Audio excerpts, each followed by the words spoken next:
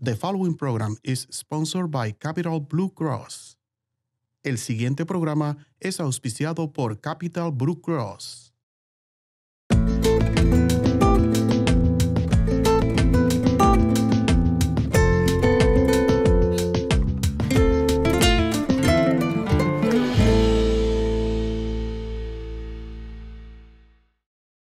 Bienvenidos a otro segmento de Cita con su salud. Esta mañana vamos a estar hablando sobre un tema muy importante y el tema tiene que ver con la diabetes entre niños y adolescentes. Conmigo esta mañana está Charlotte Wessner, quien es una médica asociada eh, con el Southeast Lancaster Health Services. Charlotte, Good morning. I want to thank you for being uh, with us today on Cita con Su Salud. Uh, and we're going to talk about, obviously, childhood diabetes and obesity. Let's go very basic now um, for folks. What is diabetes number one? Okay, so um, type type one diabetes. Um, this one is more of a genetic basis, and it's our body has a decreased ability to actually produce insulin, and so the onset of that is usually young. Um, type 2 diabetes is caused from our body's uh, inability to break down and process sugars correctly.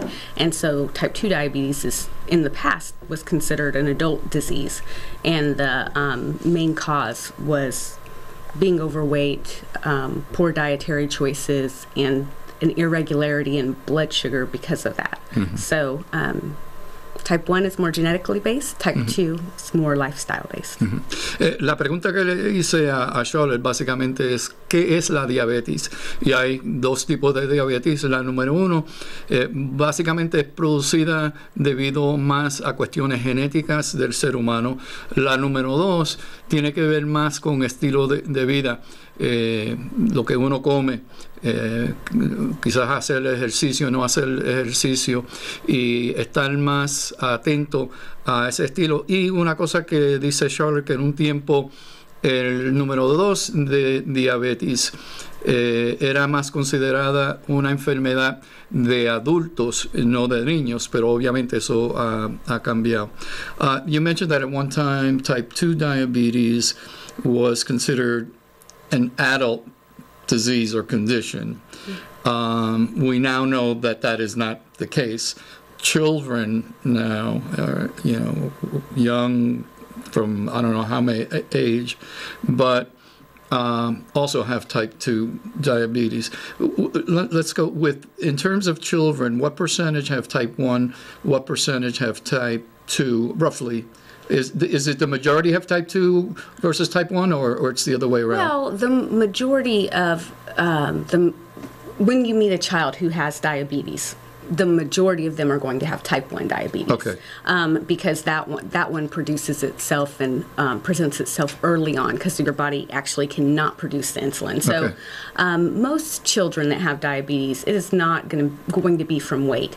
And the reason is because once you kind of get to the point to where you have irregularities in your blood sugar because of weight, it takes 10, 15 years for the effects to show up. That's why it mm-hmm. used to be an adult disease mm-hmm. because most children are so active, the lifestyle just was not conducive to mm-hmm. having that weight on for such a long period of time.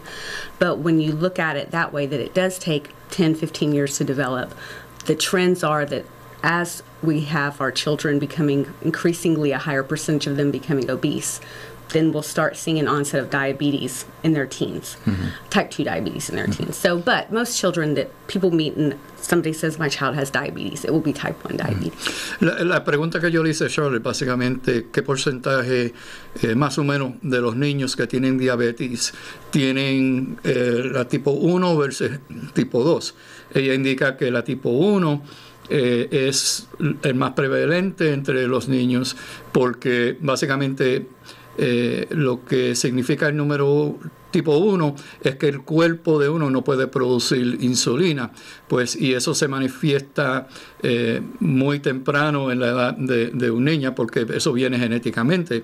La número 2, como es más a consecuencia de estilo de, de vida, se demora a veces 10 a 12 años para manifestarse en el cuerpo de eh, un, adolescente. Pues básicamente eh, por eso que en un tiempo se consideraba una enfermedad de adultos, porque años atrás, especialmente cuando los niños estaban más activos en sus casas, jugaban en el vecindario, en los parques, en los afueras de la cárcel, de la casa, eh, esa actividad le detenía eh, la diabetes número 2 de manifestarse en su cuerpo hasta quizás más, tarde. Now, we have the issue of obesity with children and youth. Uh, I was going to say in the United States, but it's really around the world at, at, uh, this point. And uh, first of all, what what measures do we use to consider a child obese? So um, we base those measurements on their age, height, and weight, Mm-hmm. and then place them into a percentile. And so um, if a child is considered overweight, they would be between the 85th and 95th percentile. If a child is considered obese, then they're above the 95th percentile. And that's um, that's the way we that's the way we look at it. And the same goes. We can evaluate it just with weight um, or their BMI as well. And again, with the BMI, it's the same. 85th to 95th percentile would be considered overweight. Above the 95th percentile, considered obese. Eh, básicamente lo que pregunté fue que eh, se utiliza, qué medida se utiliza para determinar si un niño está obeso. Ah, básicamente hay ciertos factores, la edad, eh, altura y el peso de ese, de ese niño o niña. Y, dependiendo en, en es- en la escala que existe, si está sobre el 90%, eh, también eh, está considerado obeso. Otro factor es eh, la eh, fórmula que hay para medir eh, la cantidad de grasa que uno tiene en, el cuerpo um, y también si está un niño o niña en el 90% para arriba, también es considerado eh, obeso. Um, since type 2 is lifestyle, obesity, is it mainly caused by lifestyle that we could say, or 100%? Well, no, it's definitely not 100% Okay. caused by lifestyle. Uh, um, lifestyle is a huge factor and impacts the rate that disease processes come on. But for, for obesity, there's a, definitely a genetic link. Um, uh, studies have shown that what our grandparents and great grandparents ate in the past um, and whether or not they were um, lived in for instance people's grandparents who lived through the depression mm-hmm. their children and great grandchildren are a higher risk for developing type 2 diabetes. So there are epigenetic and genetic changes that take place in our recent past mm-hmm. that change the way we process sugars and store fat. Mm-hmm. So, um, so you can't just say it's 100% lo- um, lifestyle. Um, there's definitely a genetic component, but um, what can we do to protect ourselves and protect our bodies is uh, is adjust our lifestyle. Eh, una de las cosas eh, importantes de reconocer cuando eh, el por qué tenemos tanta obesidad, eh, había mencionado que una gran parte es estilo de vida, pero también eh, menciona que quizás haya unos factores genéticos que influyen en el desarrollo de la diabetes. También, eh, vamos a decir, de la forma que no solamente se, están criando los niños, pero también cómo se criaron los padres y los abuelos, qué cosas comían, qué tipo de vida ellos llevaban, que todavía esos rastros siguen en nuestras familias actuales y que tienen un impacto sobre la posibilidad de crear eh, niños obesos. Um, Southeast Lancaster Health Services um, has a program to work with uh, young people and young families on trying to manage uh, obesity. Uh, tell us a bit about uh, that program and what does that do? Okay, this summer we're starting a six week weight loss intervention um, called Let's Get Healthy. and it's for eight to children who are eight to 14 years old, um, above the 85th percentile. And we've got a multidisciplinary team. Uh, we have psychologists, nutrition specialists, um, and we actually have personal trainers who are coming in to work with us on the program. Eh, Charlotte dice que en, en este verano, uh, when does that start exactly? June 21st. Ok, bueno, ya, ya la semana próxima, already next week, um, eh, van a inici- eh, iniciar eh, un programa de seis semanas para ayudar a niños y familias eh, contrarrestar la obesidad eh, con eh, eji- ejercicios, también con recomendaciones de dietas, con terapistas físicos y también eh, expertos en cuestión a eh, cosas que pueden hacer en las casas, ejercicios que pueden hacer y los pueden ayudar a orientar a esos um, ejercicios para entonces esas familias continuar eh, poder continuar estos ejercicios y estas iniciativas en sus casas. Um, how many folks do you are you able to uh, work with during that six week uh, period? Well, since this is the first run of it, Oh, okay. I'll take as many as you can get. Whoever's willing to show up, and and to know that um, like the personal trainers that are working with us that have volunteered their time, um, that's just an amazing opportunity. Every we the sessions meet once a week.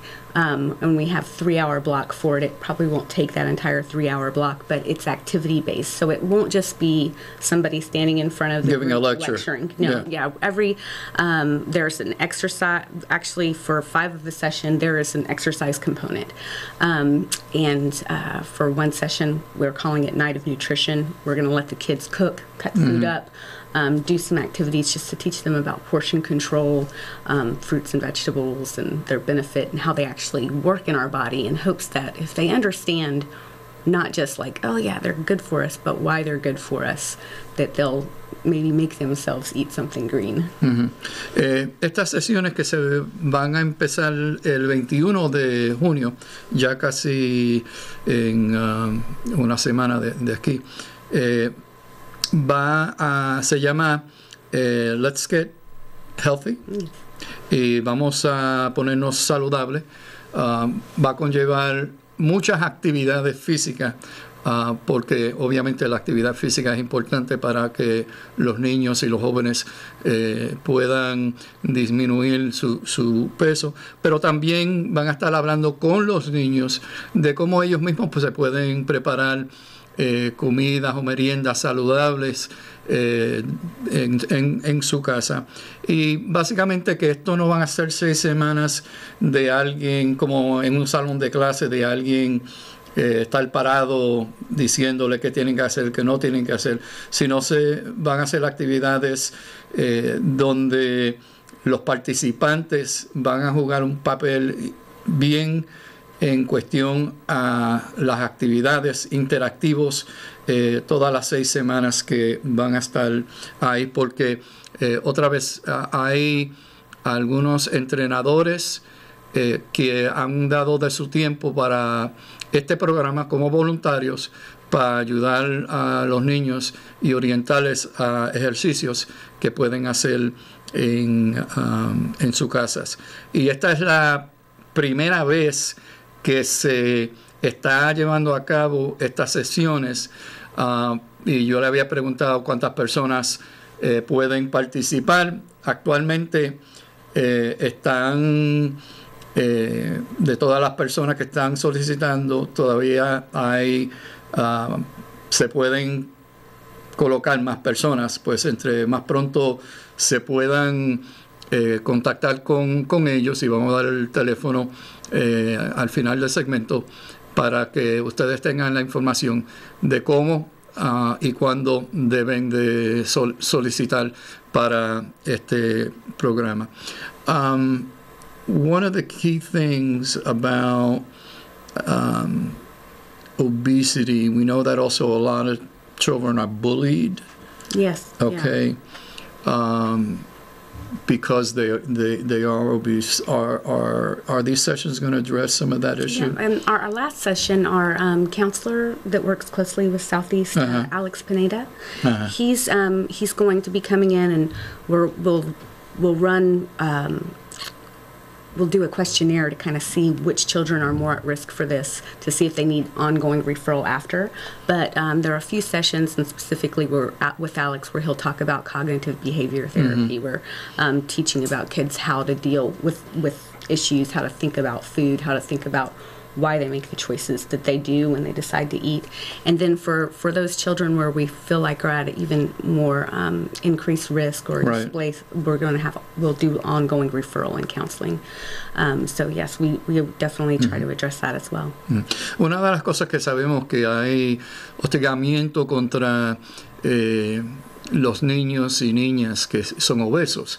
Y le pregunté a Charlotte si esta seis semanas, durante estas seis semanas, se van a llevar a cabo algunas actividades para ayudar a los niños eh, bregar con esta situación del hostigamiento. Y dijo que sí, ah, van a traer un consejero que va a asesorar a los muchachos en cuanto a por qué comen ciertas cosas o quizás por qué comen tan frecuentemente. Y también para esos niños que demuestran eh, y indican que tienen un, problema de hostigamiento, sea en la escuela o en el vecindario, eh, se le va a proveer estrategias para cómo lidiar con esa situación, ah, ya que se sabe que eso existe en nuestra, en casi todas las comunidades, pero hay que ayudar a los niños a sobrepasar esas eh, situa- situaciones. Um, I'd like to go back a little bit in terms of obesity, and you got you have some statistics. First of all, about Pennsylvania, but then you also have a breakdown in terms of racial ethnic groups, and I'd like for you to uh, uh, review that with us. So um, these statistics are from 2013, and um, the overall prevalency of childhood obesity was 29.7% of children were considered either overweight or obese in Pennsylvania. Okay. And then just specifically regarding nationwide, um, all for all children rates among um, specifically to obesity, so above the 95th percentile, um, 16.9% of all children. Um, and then breaking it down by race and ethnicity, black children were, tw- were 20.2%, Latino children 22.4%, and then white children 14.3%. And so there's definitely a large degree of disparity. Um, una cosa que le pregunté a Charlotte es sobre, hay algunas estadísticas eh, en Pensilvania, casi el 30% eh, de los niños son considerados eh, obesos, número uno. Now, the, the, break, the racial ethnic breakdown, is that Pennsylvania or is that U.S.? Uh, That one was specific to U.S., but I have some of the Pennsylvania trends as well. Ok. Um, y entonces, ah, en Pensilvania, eh, el número para todos los niños es casi 17% considerado obesos. Eh, entre la población eh, blanca anglo eh, es 14%.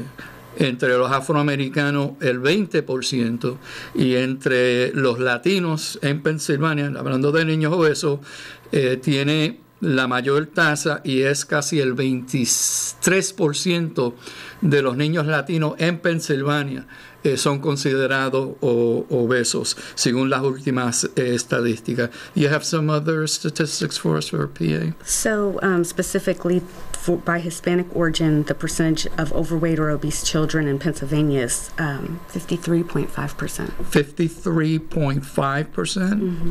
53.5%? percent Okay, African, do you have for African American as well? Um, 43%. Okay, and white Anglo? And this one does not have the, that one I just have a nationwide. Señoras y señores, tengo aquí una data eh, sumamente, bueno, que me ha asombrado a mí. Eh, entre los, esto es para Pensilvania.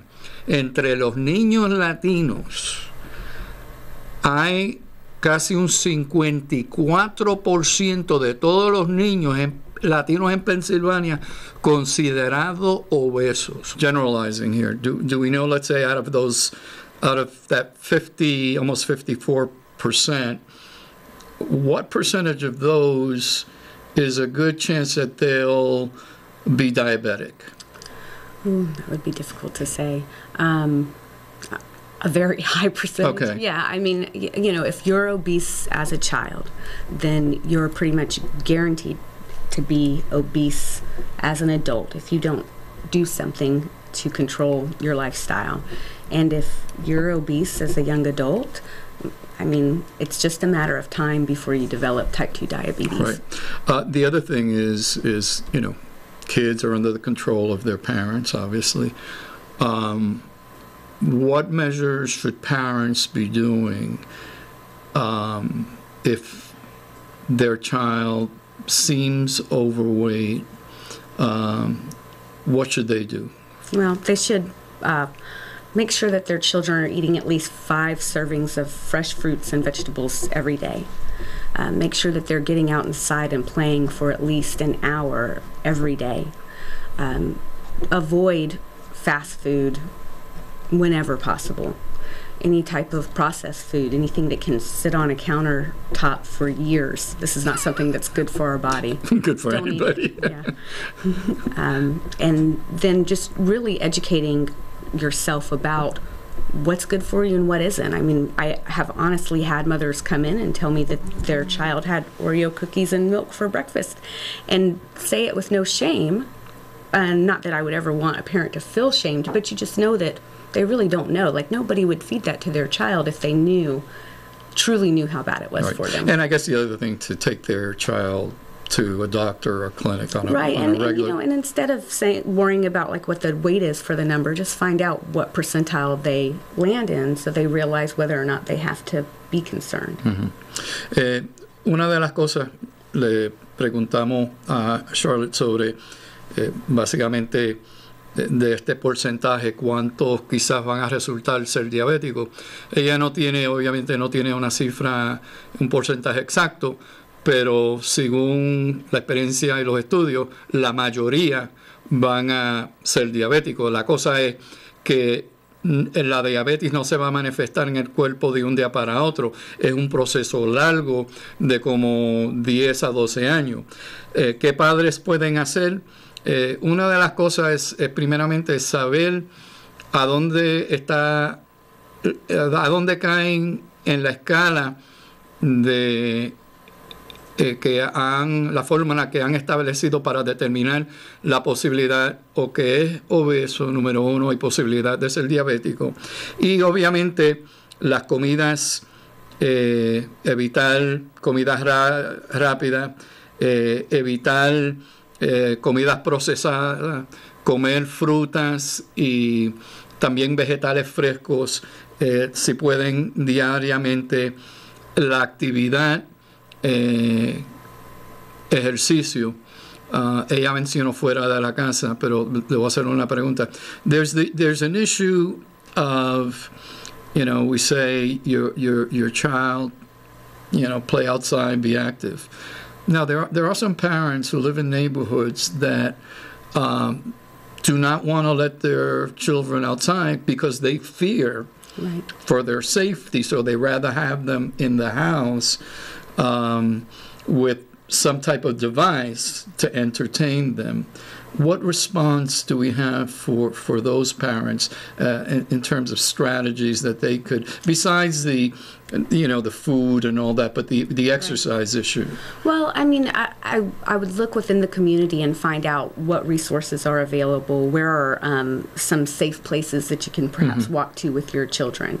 And if it's a matter of feeling like, well, I don't want to send them outside to play, well, then go with them. You know, go, and it doesn't mean you have to. I'm not a parent who enjoys like wrestling and playing with my children in that in that manner, but uh, a family walk. Right. And so something that you can supervise and feel good about because it's just as good for our bodies as it is for our children. But really, it is important to just get them outdoors, get them off of the devices. The devices aren't, they're really truly bad for their brains and sleep cycles as well. And so, um, so it, it does. You do have to try to incorporate ways within the community.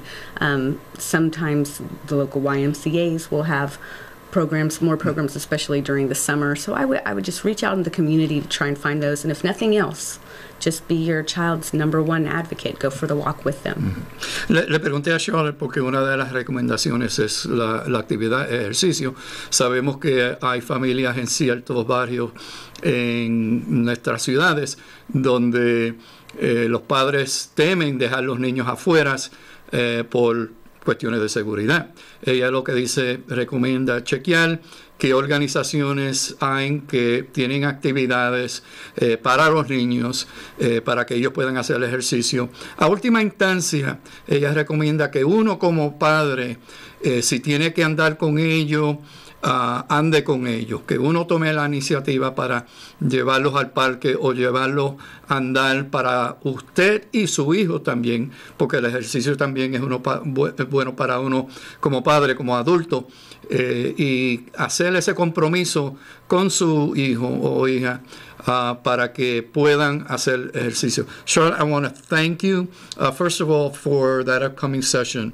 Where do folks need to call and what do they need to do to be a part of that group? Um, they'll just call Southeast Lancaster Health Services and request to um, sign up for the Let's Get Healthy program. And I, And the number should be uh, 945 1560. No, no, no, no, no. Two nine nine six three seven one. 299. Six three seven one. Bueno, el teléfono para llamar es el 299-6371. 299-6371. Charlotte, want to thank you for being with us. Ah, y este ha sido otro segmento de cita con su salud.